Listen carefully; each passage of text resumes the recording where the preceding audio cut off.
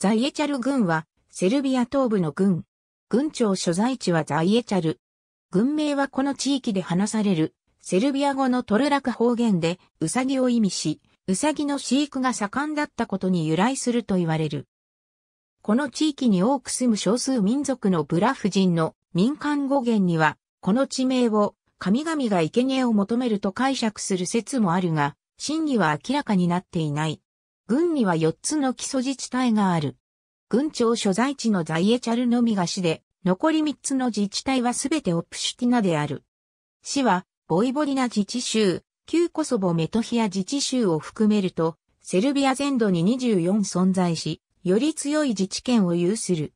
オプシュティナは、日本の町、村に相当する。2002年の国勢調査による。ガムジグラードは、ローマ皇帝ガレリウスの記事であり、その宮殿は、世界遺産に登録されている。